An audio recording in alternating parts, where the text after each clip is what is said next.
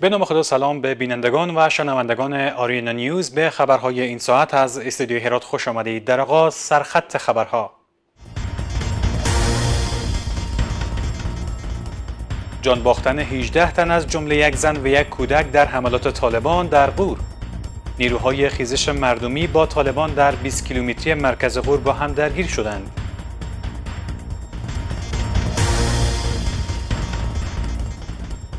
ادامه اعتصاب آموزگاران در هرات.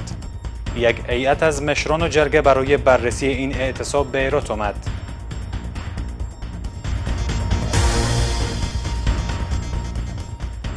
و کمک 3 میلیون دلاری کشور دنمارک به کشاورزان در غرب کشور.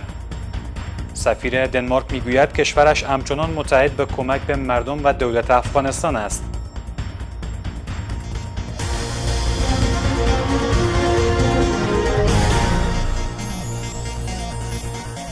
امروز سهشنبه هفتم جوزای سال 1398 هجری خورشیدی برابر با 28 می سال 2019 میلادی است. من سلیم مقیمی هستم. آموزگاران هرات با گذشت 11 روز از اعتصاب کاریشان همچنان بر ادامه این اعتصاب تاکید دارند.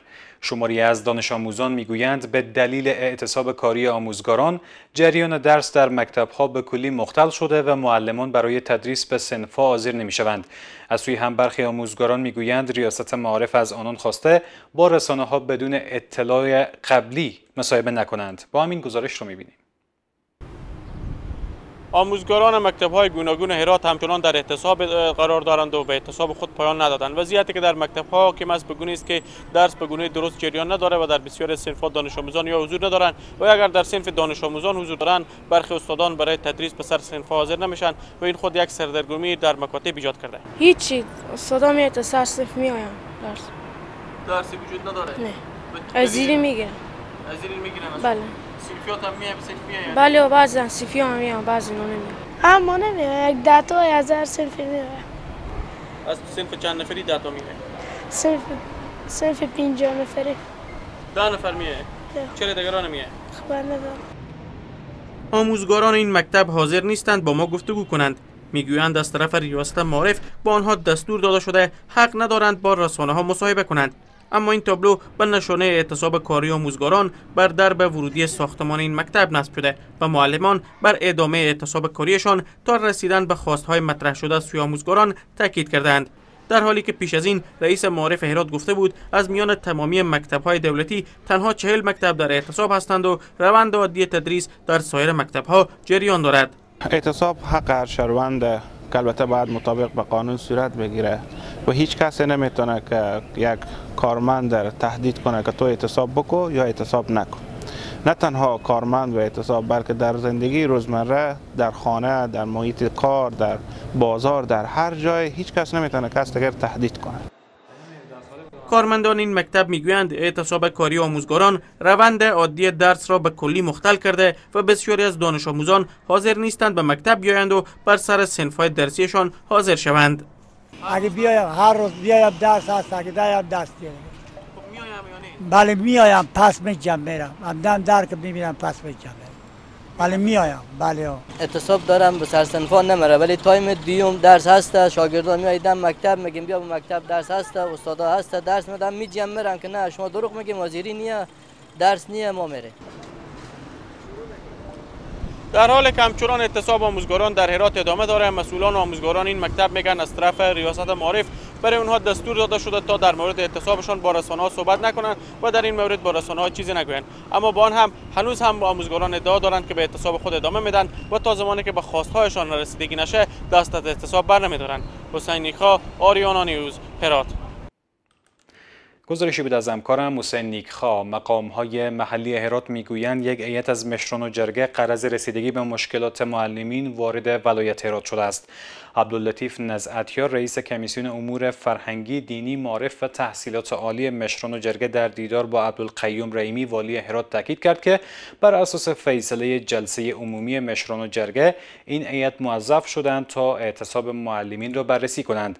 نزعتیار می‌گوید قرار است خواسته های آموزگاران هرات در جلسه عمومی هفته آینده با حضور وزیر معارف مطرح شود از سوی هم عبدالقیوم ریمی والی هرات در نشستی که با این ایت داشت از آنان خواست تا به زودی به این مشکل رسیدگی کنند 18 تن به شمول یک زن و یک کودک در حمله طالبان مسلح در 20 کیلومتری شهر فیروزکو مرکز ولایت قور جان باختند. اعضای شورای ولایتی قور می‌گویند ده تن از طالبان به منطقه میدانک شهر فیروزکو به خانه های نیروهای خیزش مردمی حمله کردند تا کنون مقام های امنیتی در این مورد اظهار نظری نکردند. به این گزارش توجه کنید. طالبان مسلح نیروهای خیزش مردمی را در 20 کیلومتری شهر فیروزکو مرکز ولایت غور هدف قرار دادند. اعضای شورای ولایتی در این ولایت می‌گویند در جریان چندین ساعت درگیری 17 تن از نیروهای خیزش مردمی به شمول 5 سرباز پلیس زخمی و 18 تن دیگر از جمله سه سرباز پلیس جان باختند. عبدالحمید ناطقی عضو شورای ولایتی می‌گوید طالبان با سلاحهای سبک و سنگین به خانه های نیروهای خیزش مردمی در این منطقه حمله کردند. و مردم در دفاع از خودشان و از خان و خانواده و اینا استادگیری می‌کنند در برابر طالبا دیگه درگیری اتفاق مسته بینشان. و درگیری سخت آجین طالبا هم زیاد بوده.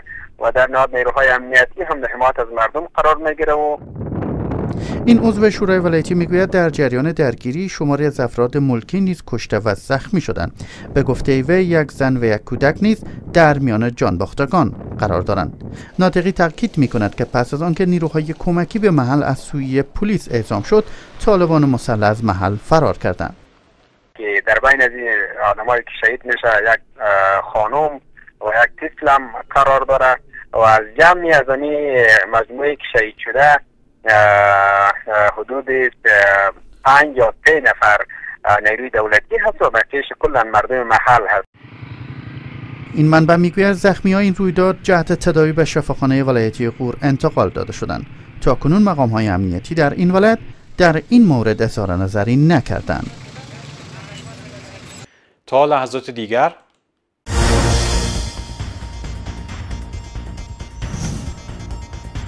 کشته شدن دو طبعه پاکستانی در عملات نیروهای حمایت قاطع در فرا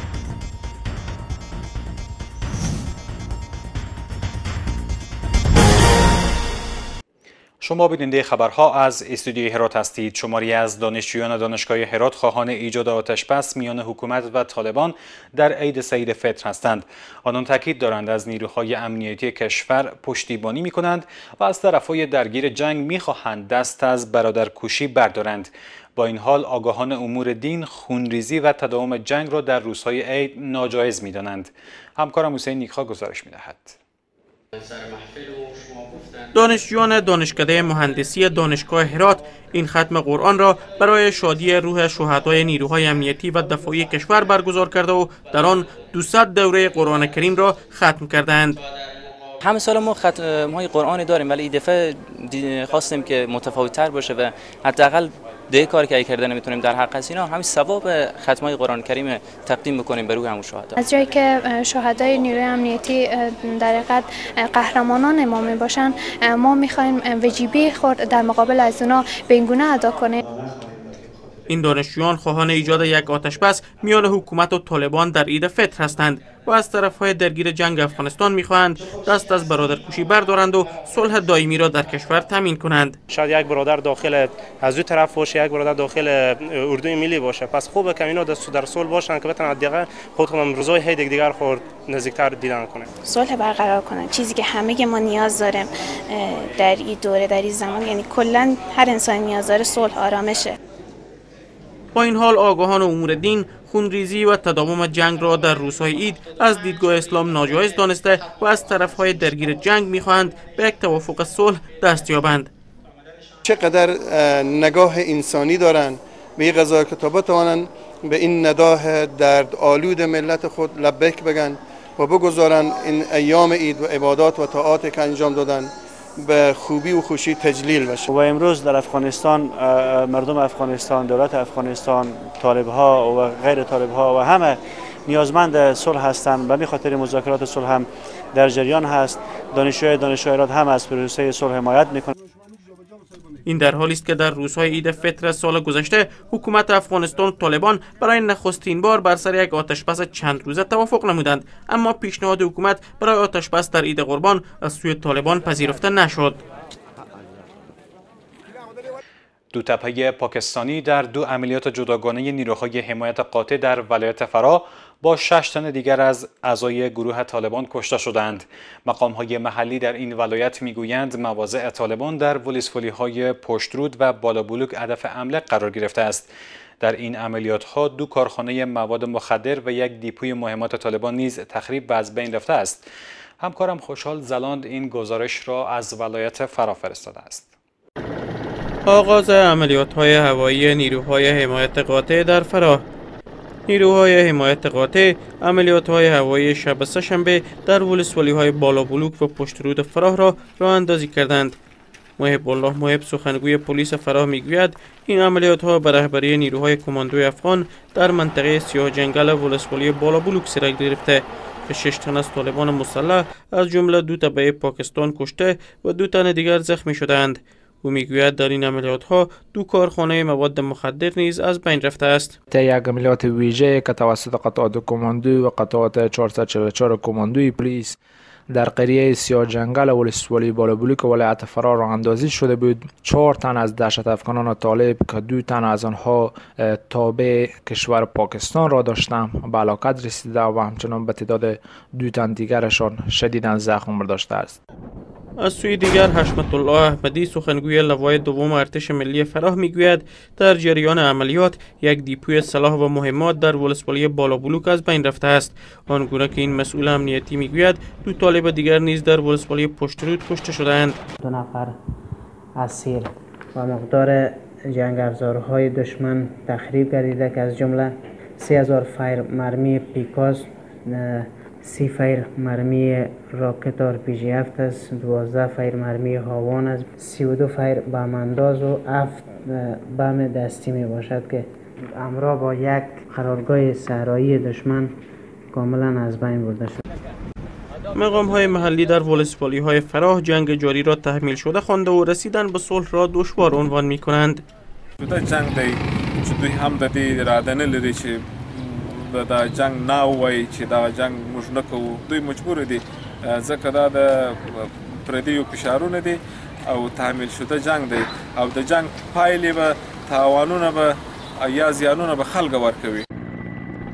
این در حالی است که به گفته مقام های محلی در این ولایت با شدت یافتن عملیات های هوایی نیروهای حمایت قاطع حملات طالبان مسلح بر پاسگاه نیروهای امنیتی در فراه کاهش یافته است.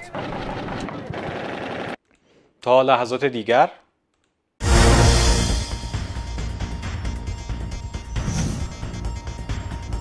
کشته شدن دو عضو برجسته گروه طالبان در ولسوالی اوبه هرات.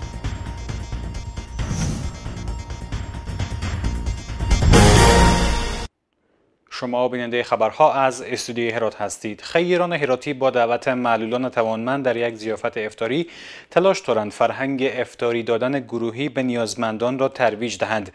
در این زیافت افتاری معلولان از وسایل سرگرمی یک پارک تفریحی نیز به گونه رایگان استفاده نمودند. آنان اشتراک در این برنامه را سبب شاد شدن رویه خود می‌دانند. به این گزارش توجه کنید.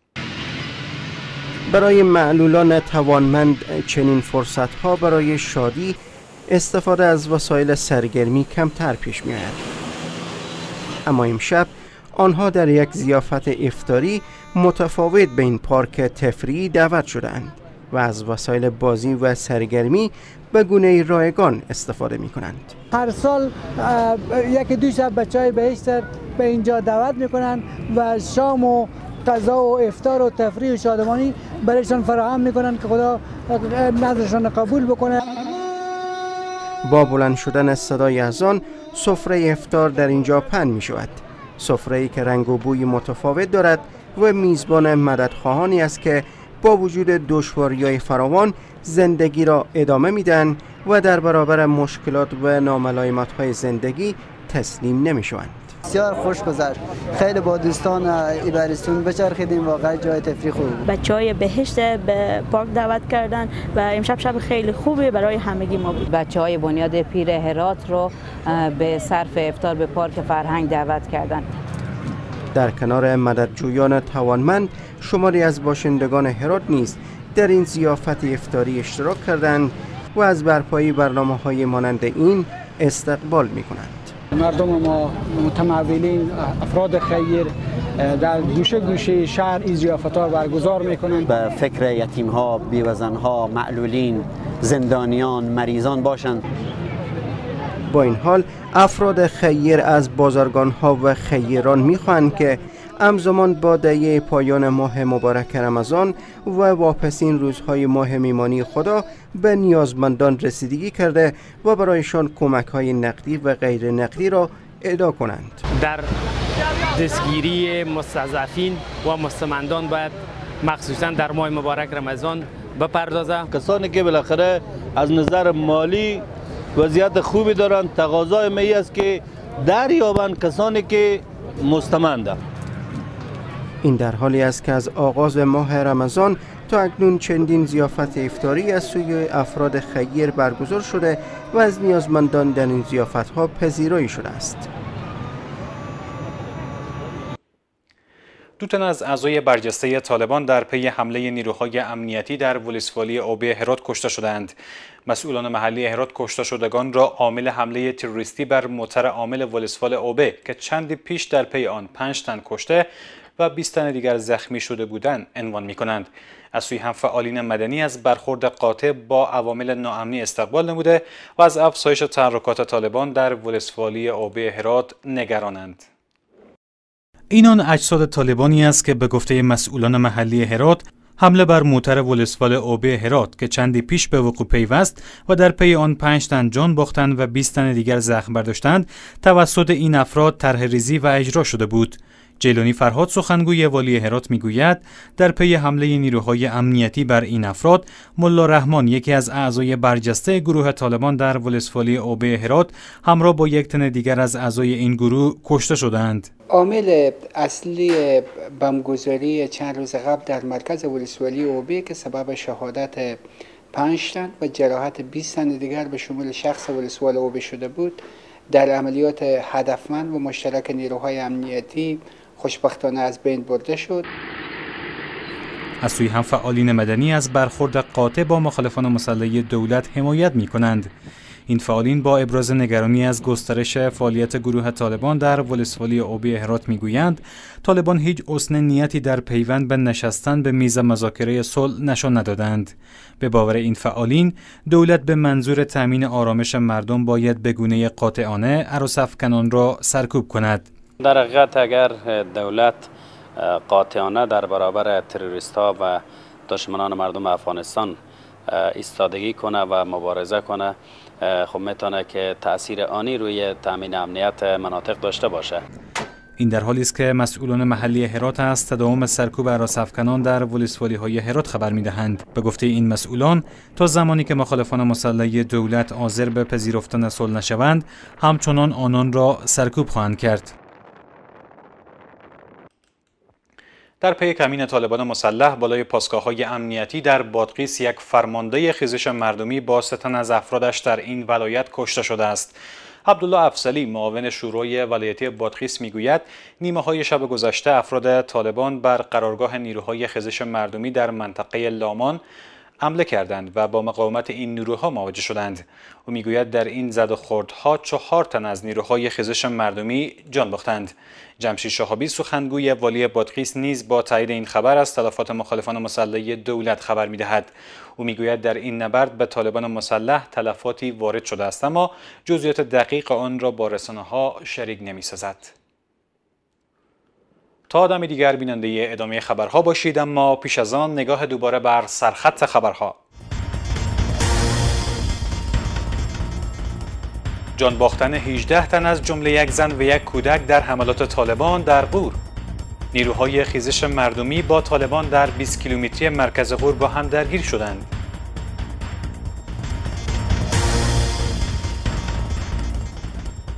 ادامه اعتصاب آموزگاران در هرات. یک هیئت از مشران و جرگه برای بررسی این اعتصاب به ایرات آمد.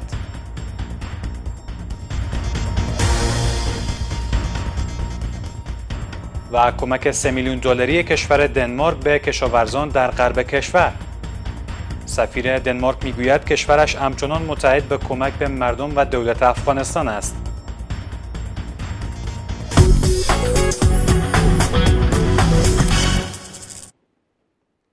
به خبرهای اقتصادی امروز خوش آمدید. سفارت دنمارک به ارزش 3 میلیون دلار برای کشاورزان ولایت‌های حوزه غرب کشور بسته‌های دامداری و کشاورزی کمک نمود.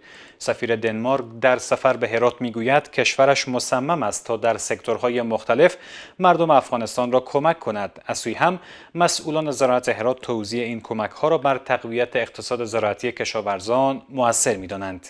به این گزارش توجه کنید.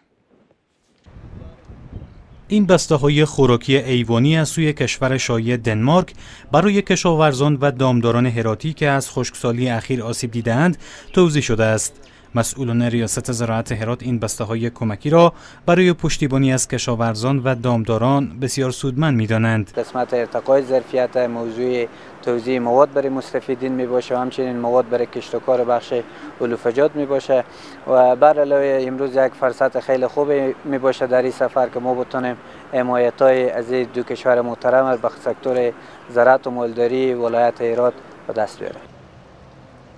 با این حال کشاورزان و دامدارانی که این خوراکی های ایوانی را دریافت کردند می‌گویند خشکسالی اخیر به کشاورزی و دامداری آنان آسیب رسانده و آنان را زیانمند ساخته است. درستان الان ما سرطان دیگه اوی نداریم. اوی نداریم. کشت ما از بین رد بی خودسالی ها خیلی ضربه دیدیم. بسیار چی کشتیم برداشت نکردیم. برای مالداری ما که از بین 90 درصد بره. سه سال شده یقین مونده میره برو. ما نقضی که 20 آگوست داشتیم مال با 5 تا رسیده. از بی وزایتی از بی پولی از دربدری 5 تا 5 تا یک انگاره چهار تا دیگه استاقه. با این حال سفیر کشور شایی دانمارک که برای توزیع این کمک ها به هرات سفر کرده تاکید دارد کشورش از خشکسالی اخیر در افغانستان متاثر شده و در آینده کمک های بیشتری برای حمایت از کشاورزان توزیع خواهد کرد. بسیار خوشحال هستیم که از طریق سازمان FAO حدود 3 میلیون دلار برای کسانی که از خشکسالی آسیب دیدند کمک می‌کنیم. ما برای حدود 20 هزار خانواده این بسته های کمکی را توزیع می‌کنیم. کمک ها برای کسانی است که از خشکسالی اخیر در هرات آسیب دیدند. مسئولان سفارت دنمارک در افغانستان بر گسترش همکاری های این کشور در بخش های گوناگون با مردم افغانستان تاکید کرده و می‌گویند این کشور افزون بر بخش کشاورزی پیش از این در بخش های آموزش و پرورش نیز با حکومت افغانستان کمک کرده است. ممنون از همراهیتان روز خوش خدا نگهدار